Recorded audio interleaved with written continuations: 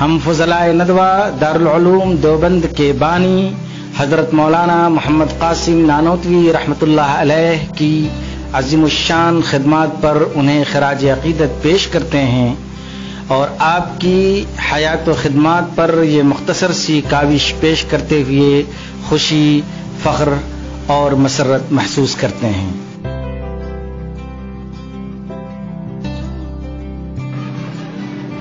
अठारह सौ सतावन से पहले तकरीबन पूरे हिंदुस्तान पर अंग्रेज़ों का कब्ज़ा हो चुका था। अंग्रेज़ों का जुल्म सितम हिंदुस्तानी आवाम पर जारी था। मुखालफत की हर आवाज़ को दबाया जा रहा था। अंग्रेज़ों का जुल्म सितम जब हद से गुजर गया तो अठारह ईस्वी के आते आते हिंदुस्तान के कई इलाकों में जिहाद की तहरीकें शुरू हुई और बगावत की आग हर तरफ़ भड़क उठी।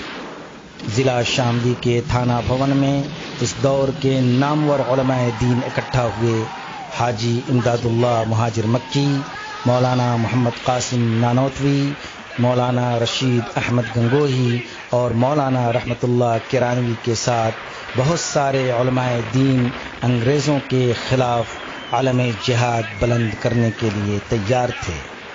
हाजी इमदादुल्ला महाजिर मक्की को अमीर बनाया गया और मौलाना मोहम्मद कासिम नानोतवी को सिपह सालार और बकिया को दीगर जिम्मेदारियाँ सौंपी गईं। फिर अंग्रेज़ों के खिलाफ बाकायदा मुहिम का आगाज़ हुआ। सहारनपुर से अंग्रेज़ी पलटन शामिली जा रही थी, जिसमें तोपखाने और जंग के भारी साजो सामान मौजूद थे चुनाचे मौलाना रशीद अहमद गंगोही की क्यादत में एक फौजी दस्ता रवाना किया गया और अंग्रेज़ी पलटन पर छापेमारी की गई और सारे असलहे जब्त कर लिए गए। फिर अंग्रेज़ी फौज से भयानक लड़ाई का आगाज़ हुआ और दीन ने शामली के किला को भी अंग्रेज़ों से छीन लिया। मगर अंग्रेज़ी ताकत के सामने जब मुगलिया सल्तनत ने दिल्ली में सिपर डाल दिए तो पूरे हिंदुस्तान की तरह शामली का मैदान भी मुजाहिदीन आज़ादी के हाथ से निकल गया। इस जंग में हिंदुस्तानियों की भयानक शिकस्त हुई। शिकस्त के बाद लाल किला पर अंग्रेज़ों का झंडा लहराने लगा। मुस्लिम कौम की 700 साल शान शौकत का सूरज हमेशा हमेश के लिए गुरूब हो गया। अंग्रेज़ों की फतह और मुजाहिदीन आज़ादी की शिकस्त ने उस नौजवान सिपह सालार मौलाना मोहम्मद कासिम नानोतवी के दिलो दिमाग को झंझोड़ कर रख दिया। अंग्रेज़ों ने हिंदुस्तान पर कब्जा करने के बाद सबसे पहला काम ये किया कि मुसलमानों पर हिंदुस्तान की ज़मीन तंग कर दी। वो कौम जिसने हिंदुस्तान को एक नई तहजीब, एक नई जबान और एक नया आइन दिया था और जिसने हिंदुस्तान की तामीर व तरक्की की एक अजम शान तारीख लिखी थी, उसी कौम पर अंग्रेज़ों के हौलनाक मजालिम का दौर शुरू हुआ। उनकी तहजीब व सकाफत को नेस्तो नाबूद करने की कोशिश की गई, उनकी जमीनें और जायदादें सल्ब कर ली गईं, उनकी जबान को गैर सरकारी जबान करार दिया गया, उनके इदारे और इंस्टीट्यूशंस बंद कर दिए गए सरकारी नौकरियों से उन्हें बेदखल कर दिया गया। और यही नहीं, बल्कि उनके दीन मज़हब पर भी मंसूबा बंद हमला शुरू हुआ। एक तरफ़ मुसलमानों का पूरा वजूद खतरे में था तो दूसरी तरफ़ उनका मज़हब और दीन अंग्रेज़ों के भयानक निशाने पर।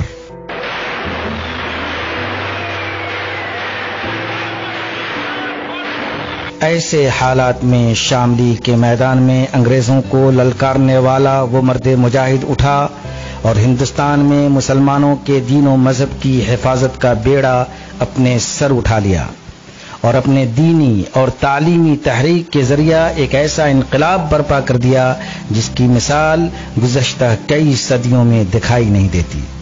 उस अजीम शख्सियत का नाम मौलाना मोहम्मद कासिम नानोतवी था, जिनको दुनिया दारुल देवबंद के बानी के नाम से जानती है। मौलाना मोहम्मद कासिम नानोतवी ने कई शहरों में मदारिस का जाल बिछाया। देवबंद में दारूम मुरादाबाद में मदरसा कासमिया शाही, गुलावटी में मदरसा मंबाउल उलूम और अमरोहा में मदरसा जाम मस्जिद अमरोहा कायम किया, जहाँ से आज भी इल्म दीन की रोशनी हर तरफ़ फैल रही है। मौलाना मोहम्मद कासिम नानोतवी की ज़िंदगी का सबसे अजीम शान कारनामा दारूम देवबंद का क्याम था। दारूम देवबंद एक मदरसा नहीं, बल्कि एक मिशन था, एक तहरीक थी, जिसका ख्वाब मौलाना मोहम्मद कासिम नानोतवी ने देखा था और सच तो ये है कि मौलाना मोहम्मद कासिम नानोतवी के जानशीनों ने मौलाना का वो ख्वाब सच कर दिखाया। मौलाना ने सहारनपुर के एक छोटे से शहर देवबंद में जो इल्म दीन की शमा रोशन की थी, उस शमा से शमा जलती गई। यहाँ तक कि पूरा बर्र सगीर इल्म दीन के उन कुमकुमों से जगमगा उठा। आज हिंदुस्तान ही नहीं, बल्कि पाकिस्तान, बांग्लादेश, अफ़गानिस्तान, जनूबी अफ्रीका, बरतानिया के अलावा दुनिया के न जाने कितने ममालिक में अहले देवबंद ने इल्म दीन का जो चिराग जला रखा है, उसकी रोशनी से हज़ारों तालिबान नबूवत रोज़ाना फैसयाब हो रहे हैं। दारुल देवबंद को जाम असर के बाद दुनिया की सबसे बड़ी इस्लामिक यूनिवर्सिटी के तौर पर माना जाता है। मौलाना मोहम्मद कासिम नानोतवी ने मौलाना सैयद मोहम्मद आबिद देवबंदी, मौलाना जुल्फ़ार अली देवबंदी और मौलाना फजलरहमान उस्मानी साहब के अमली ताउन से 13 मई अठारह ईस्वी को सहारनपुर के एक छोटे से गाँव देवबंद में उसकी बुनियाद रखी थी। उसका आगाज़ देवबंद की छत्ता मस्जिद से हुआ और एक दरख्त के नीचे एक उस्ताज और एक तालब इल्म के ज़रिया उसकी शुरुआत हुई। मौलाना मोहम्मद कासिम नानोतवी की खलूसोलिल्लाहियत और बेमिसाल कुर्बानी ने उसे बहुत ही मुख्तसर मुद्दत में तरक्की की बुलंदियों तक पहुँचा दिया। मौलाना ने आखिरी सांस तक इसी बागीचे इल्म फन की आबियारी की और इसकी तामीर व तरक्की में मशगूल रहे। दारुल देवबंद ने सिर्फ़ इल्म दीन की रोशनी ही नहीं फैलाई, बल्कि दारुल देवबंद के फरसंदों ने अपने बानी के नक्शे कदम पर चलते हुए मुल्क की आज़ादी में ऐसा ज़बरदस्त किरदार अदा किया, जिसे हिंदुस्तान की तारीख कभी फरामोश नहीं कर सकती। तहरीक रेशमी रुमाल, आज भी आज़ादी की तारीख का एक सुनहरा बाब है। मौलाना महमूदुल हसन, मौलाना उबैदुल्ला सिंधी, मुफ्ती किफ़ायतुल्ला दहलवी, मौलाना हुसैन अहमद मदनी, मौलाना अहमद अली लाहौरी और मौलाना हबीबुररहमान लुधियानवी के अलावा सैकड़ों फर्जंदान दारूम देवबंद हैं, जिन्होंने हमारे मुल्क की आज़ादी में एक ज़बरदस्त किरदार अदा किया।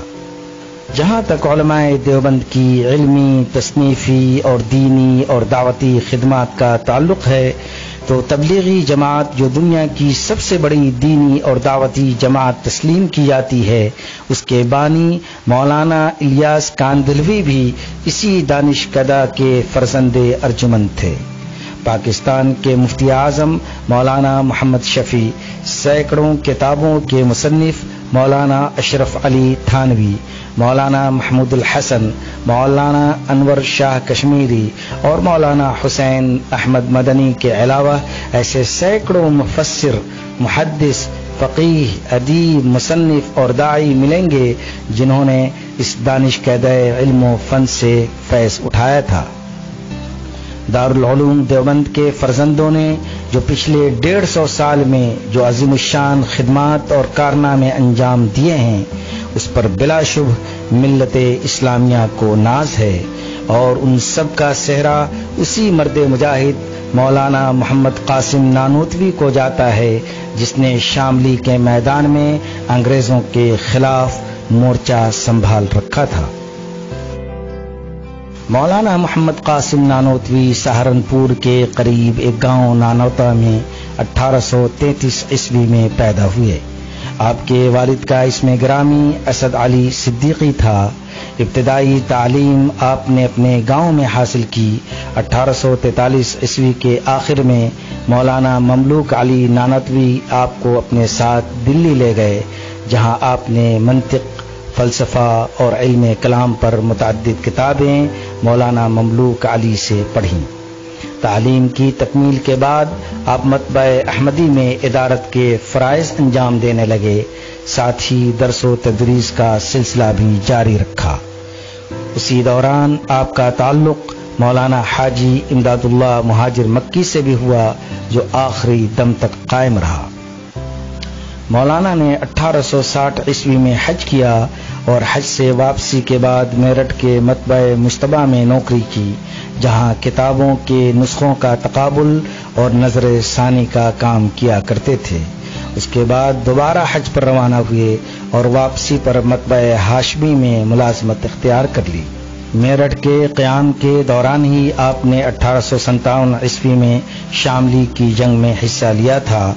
आपकी हिरासत का हुक्म सादिर हुआ और उस दौरान आपने पोशीदा ज़िंदगी गुजारी।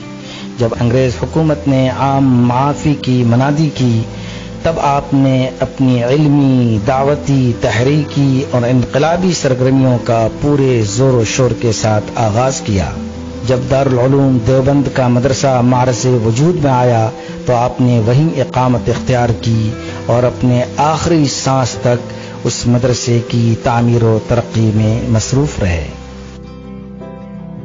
जहाँ तक मौलाना मोहम्मद कासिम नानोतवी रहमतुल्लाह की तसनीफात का ताल्लुक है गरचे आपकी मुजाहिदाना ज़िंदगी और तालीमी तहरीकात ने तसनीफ तालीफ के लिए यकसू मौका फराहम नहीं किया, ताहम आपने बहुत सारी किताबें भी लिखी जो आपकी इल्मी काबिलियत व सलाहियत का बैन सबूत हैं।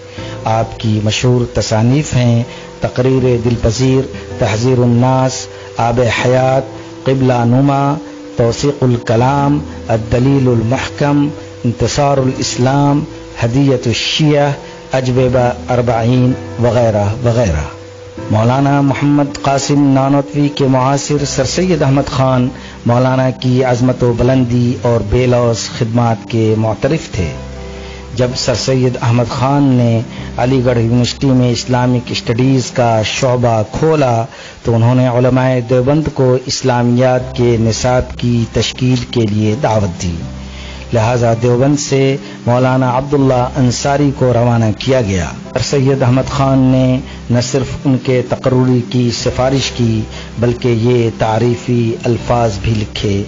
मौलवी अब्दुल्ला साहब फरसंद हैं, मौलवी अंसार अली साहब के नवासे हैं, मौलवी ममलूक अली साहब के दामाद हैं मौलवी मोहम्मद कासिम नानोतवी साहब के और उन सब बुज़ुर्गों से मुझे ज़ाती वाकफियत थी। इस लिहाज से मैं इनका मदरसे में तशरीफ़ लाना और रहना बाई से खैर समझता हूँ। मौज कौसर, सफ़ा एक सौ तिरानवे। उसी तरह जब मौलाना रफ़ीउद्दीन साहब मोहतमिम दारूम देवबंद ने सालाना रिपोर्ट सर सैयद अहमद खान की खिदमत में भेजी तो उन्होंने यकुम जमादानी बारह सौ नब्बे हिजरी के तहसीबुल अखलाक में तीन सफ़े का एक वकी मजमून लिखा और दारूम के माली इमदाद ताउन की ज़बरदस्त अपील की। दूसरी तरफ़ मौलाना मोहम्मद कासिम नानोतवी भी सर सैयद अहमद खान से बाज इख्तलाफात के बावजूद अपनी मोहब्बत और लगाव का इजहार किया करते थे।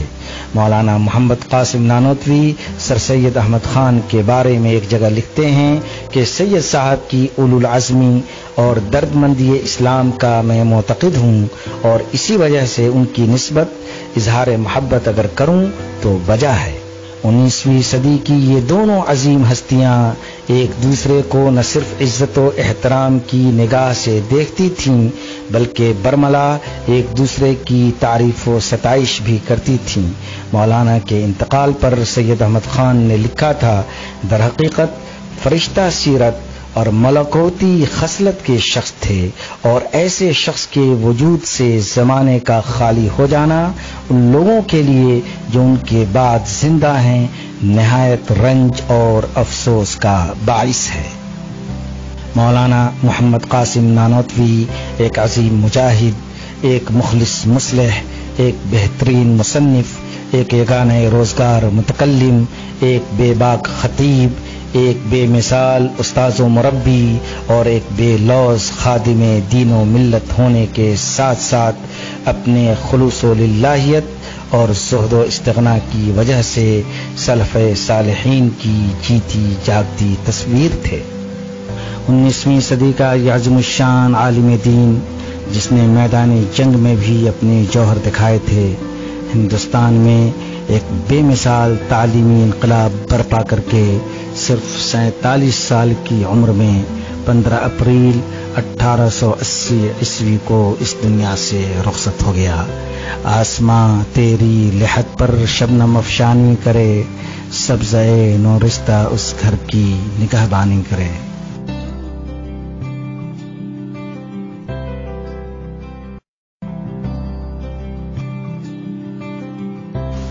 हम फजलाए नदवा दारुल देवबंद के बानी, हज़रत मौलाना मोहम्मद कासिम नानोतवी रहमतुल्लाह अलैह की अजीमुशान खदमात पर उन्हें खराज अकीदत पेश करते हैं। और आपकी हयात खदमात पर ये मुख्तसर सी काविश पेश करते हुए खुशी, फ़ख्र और मसरत महसूस करते हैं।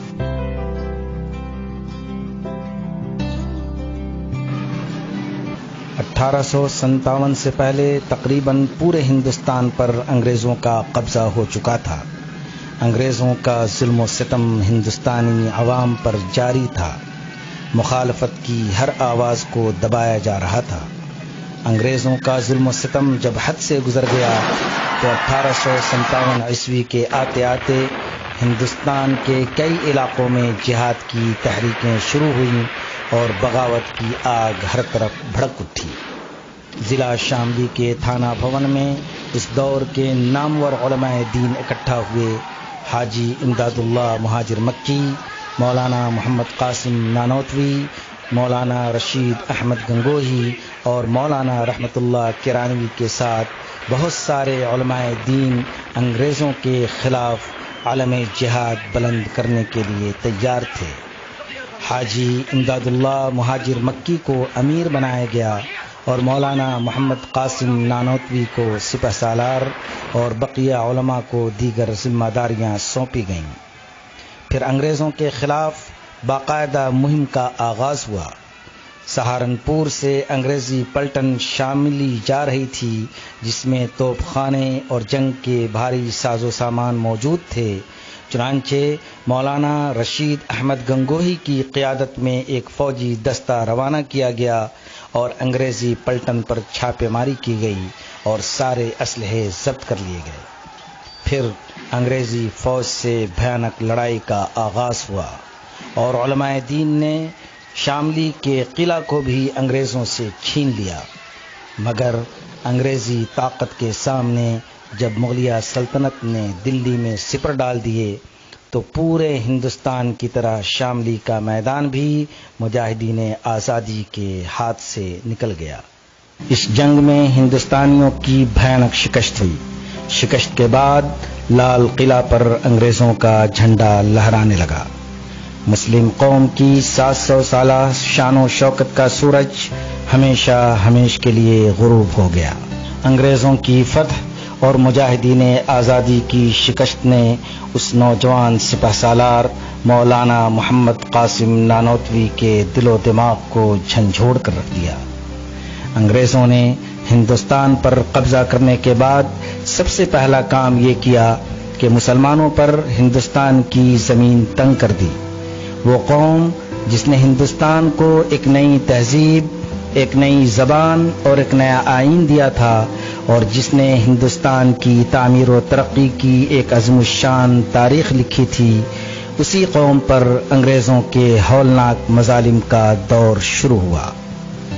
उनकी तहजीब व सकाफत को नेस्तो नाबूद करने की कोशिश की गई, उनकी ज़मीनें और जायदादें सल्ब कर ली गईं, उनकी जबान को गैर सरकारी जबान करार दिया गया, उनके इदारे और इंस्टीट्यूशंस बंद कर दिए गए सरकारी नौकरियों से उन्हें बेदखल कर दिया गया। और यही नहीं, बल्कि उनके दीनों मज़हब पर भी मनसूबा बंद हमला शुरू हुआ। एक तरफ़ मुसलमानों का पूरा वजूद खतरे में था तो दूसरी तरफ़ उनका मज़हब और दीन अंग्रेज़ों के भयानक निशाने पर।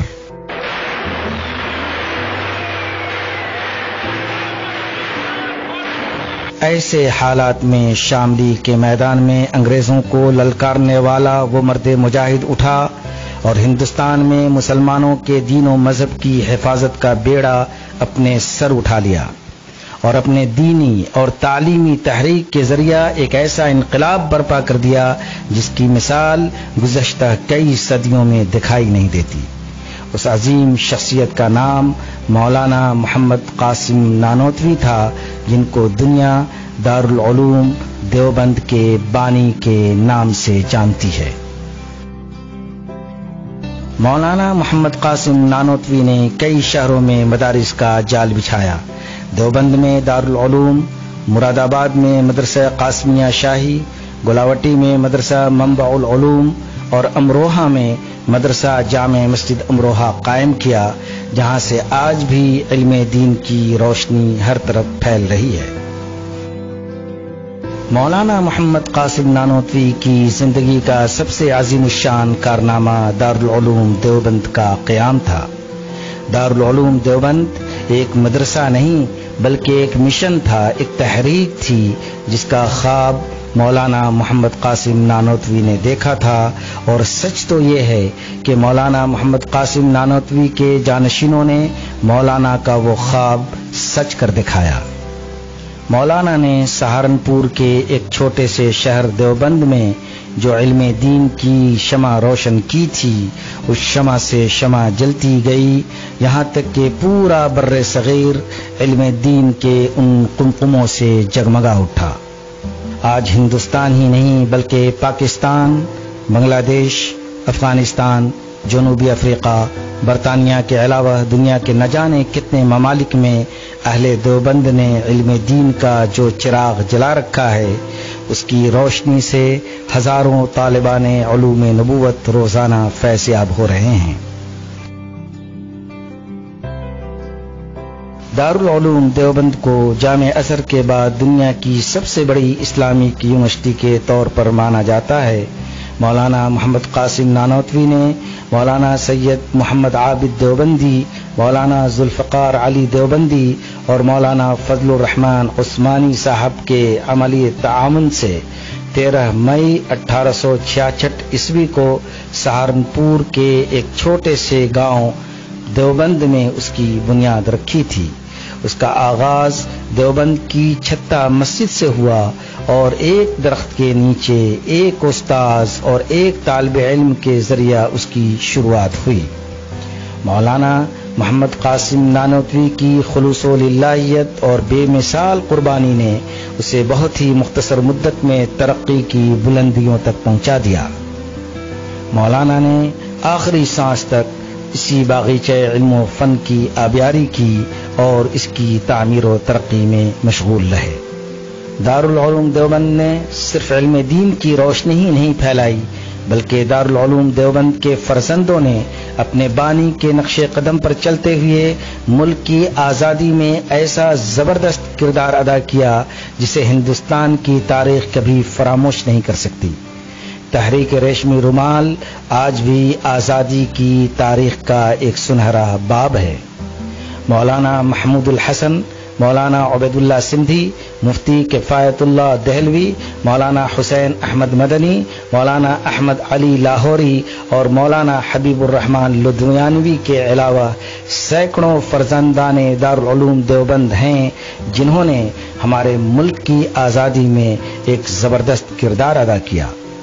जहाँ तक देवबंद की इल्मी, तसनीफी और दीनी और दावती खिदमत का ताल्लुक है तो तबलीगी जमात जो दुनिया की सबसे बड़ी दीनी और दावती जमात तस्लीम की जाती है, उसके बानी मौलाना इलियास कांदलवी भी इसी दानिश कदा के फरजंदे अर्जुमन थे।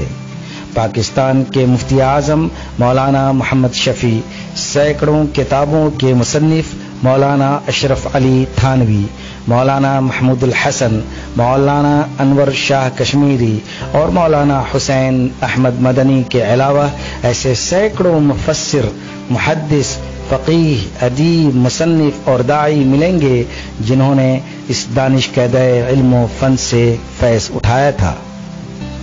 दारूम देवबंद के फर्जंदों ने जो पिछले डेढ़ सौ साल में जो अजीमुशान खिदमात और कारनामे अंजाम दिए हैं उस पर बिलाशुभ मिल्लत इस्लामिया को नाज है और उन सब का सेहरा उसी मर्द मुजाहिद मौलाना मोहम्मद कासिम नानोतवी को जाता है, जिसने शामली के मैदान में अंग्रेज़ों के खिलाफ मोर्चा संभाल रखा था।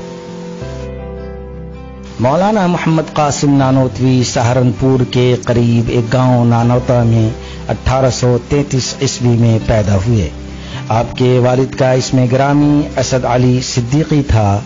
इब्तदाई तालीम आपने अपने गाँव में हासिल की। 1843 ईस्वी के आखिर में मौलाना ममलूक अली नानतवी आपको अपने साथ दिल्ली ले गए, जहाँ आपने मंतिक, फलसफा और इल्म कलाम पर मुतद किताबें मौलाना ममलूक अली से पढ़ी। तालीम की तकमील के बाद आप मतब अहमदी में इदारत के फ़राइज अंजाम देने लगे। साथ ही दरसो तदरीस का सिलसिला भी जारी रखा। उसी दौरान आपका ताल्लुक मौलाना हाजी इमदादुल्ला महाजिर मक्की से भी हुआ, जो आखिरी दम तक कायम रहा। मौलाना ने 1860 ईस्वी में हज किया और हज से वापसी के बाद मेरठ के मतब मुशतबा में नौकरी की, जहाँ किताबों के नुस्खों का तकबुल और नज़र सानी का काम किया करते थे। उसके बाद दोबारा हज पर रवाना हुए और वापसी पर मतब हाशमी में मुलाजमत इख्तियार कर ली। मेरठ के क्याम के दौरान ही आपने अठारह सौ सत्तावन ईस्वी में शामली की जंग में हिस्सा लिया था। आपकी हिरासत का हुक्म सादिर हुआ और उस दौरान आपने पोशीदा ज़िंदगी गुजारी। जब अंग्रेज़ हुकूमत ने आम माफ़ी की मनादी की, तब आपने अपनी इल्मी, दावती, तहरीकी और इनकलाबी सरगर्मियों का पूरे ज़ोर शोर के साथ आगाज़ किया।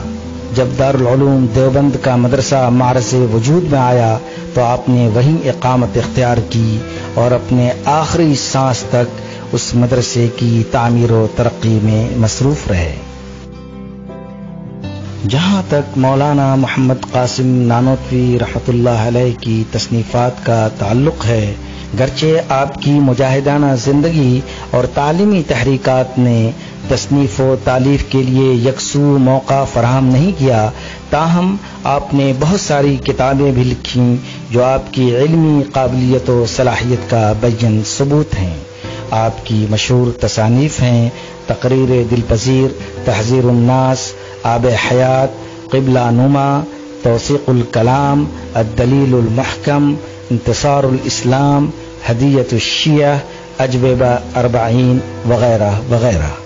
मौलाना मोहम्मद कासिम नानोतवी के मुआसिर सर सैद अहमद खान मौलाना की अजमत बुलंदी और बेलौस खिदमात के मोतरफ थे। जब सर सैद अहमद खान ने अलीगढ़ यूनिवर्सिटी में इस्लामिक स्टडीज़ का शोबा खोला तो उन्होंने देवबंद को इस्लामियात के निसाब की तश्कील के लिए दावत दी। लिहाजा देवबंद से मौलाना अब्दुल्ला अंसारी को रवाना किया गया। सर सैद अहमद खान ने न सिर्फ़ उनके तकरूरी की सिफारिश की, बल्कि ये तारीफी अल्फाज भी लिखे। मौलवी अब्दुल्ला साहब फरसंद हैं, मौलवी अंसार अली साहब के नवासे हैं, मौलवी ममलूक अली साहब के दामाद हैं मौलवी मोहम्मद कासिम नानोतवी साहब के और उन सब बुज़ुर्गों से मुझे ज़ाती वाकफियत थी।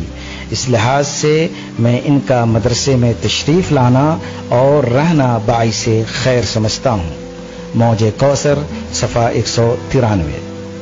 उसी तरह जब मौलाना रफीउद्दीन साहब मोहतमिम दारूम देवबंद ने सालाना रिपोर्ट सर सैद अहमद खान की खिदमत में भेजी तो उन्होंने यकुम जमातुस्सानी बारह सौ नब्बे हिजरी के तहसीबुल अखलाक में तीन सफ़े का एक वकी मजमून लिखा और दारूम के माली इमदाद ताउन की ज़बरदस्त अपील की। दूसरी तरफ़, मौलाना मोहम्मद कासिम नानोतवी भी सर सैद अहमद खान से बाज इख्तलाफात के बावजूद अपनी मोहब्बत और लगाव का इजहार किया करते थे। मौलाना मोहम्मद कासिम नानोतवी, सर सैयद अहमद खान के बारे में एक जगह लिखते हैं कि सैयद साहब की उलुल आजमी और दर्दमंदी इस्लाम का मैं मोतकद हूँ और इसी वजह से उनकी नस्बत इजहार मोहब्बत अगर करूँ तो बजा है। उन्नीसवीं सदी की ये दोनों अजीम हस्तियाँ एक दूसरे को न सिर्फ़ इज़्ज़त व एहतराम की निगाह से देखती थीं, बल्कि बर्मला एक दूसरे की तारीफ़ व सताइश भी करती थीं। मौलाना के इंतकाल पर सैयद अहमद खान ने लिखा था, दरहकीकत, फरिश्ता सीरत और मलकोती खसलत के शख्स थे और ऐसे शख्स के वजूद से जमाने का खाली हो जाना उन लोगों के लिए जो उनके बाद ज़िंदा हैं, नहायत रंज और अफसोस का बाइस है। मौलाना मोहम्मद कासिम नानोतवी, एक अजीम मुजाहिद, एक मुखलिस मुसलह, एक बेहतरीन मुसनफ़ एक यगान रोज़गार मुतकलम एक बेबाक खतीब एक बेमिसाल उस्ताज मुरब